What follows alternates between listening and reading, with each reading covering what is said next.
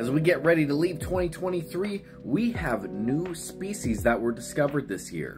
First on the list, we have the Horaglanis populi. This is a blind subterranean catfish found in India. Now, these guys have been found while digging wells, and they are living in the aquifers themselves. Locals find these guys a lot when they're digging the wells, but they have never been formally uh, talked about in science and like formally described until now. Next, we got a little frog. Can you guess what this frog's name is? Also, we're only doing species that are newly discovered to science, not rediscovered species. Let me know in a comment down below if you'd like to see a video on the rediscovered species from this year. This is the groin on fire frog. And I think you might be able to see why. These guys are from Peru. Now, the family they're in have about 130 species, and 10 of them being in Peru. But this one's different because it has a more rounded snout and it doesn't have a proboscis on it. I'd prefer the nickname firecrotch frogs. Next, we got a species of snake also from Peru that was found at about 11,000 feet, almost two miles above sea level. And it's called the Tachymenoides harrisonfordi or the Harrison Ford slender snake. And this is what Harrison Ford had to say about a snake being named after him. These scientists keep naming critters after me, but it's always the ones that terrify children, said Ford, 81, in a statement. I don't understand. I spend my free time cross stitching. I sing lullabies to my basil plants so they won't fear, fear the night. I really don't know what to make of that.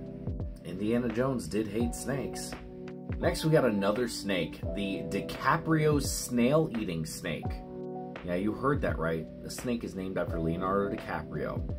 It was discovered in Panama, and as the name suggests, they eat snails.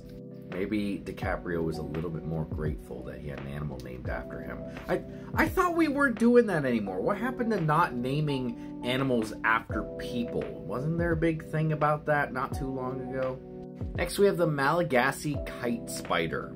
Now, the scientists who discovered these spiders were studying another spider and were driving down a road and noticed a big web with a ton of different spiders in it. They pulled over to see what was going on and saw a bunch of these spiders interacting socially together. That's like basically non-existent in spiders, only like a few of them do it.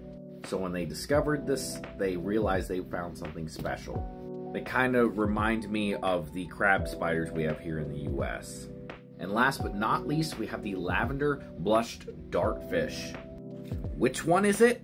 To be quite honest, I'm having a hard time figuring that out too. The only reason that this fish was discovered was because scientists were looking through a bunch of logbooks and stuff of all these other animals they had, and they noticed that the Helfrich's dartfish had a couple of phases that looked completely different.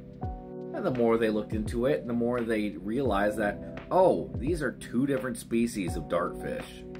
I believe these guys are the Helfrich's dartfish, the ones with the yellow faces. And this is the lavender blushed. To be quite honest, it's kind of hard to pick which one it is because every single time you look it up, it shows both, so I have no idea which is which.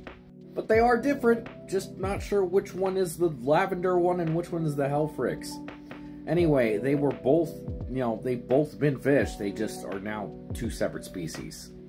There have been some other species discovered this year, so if you'd like to hear more about them, let me know down below and I will make sure to make a video about them.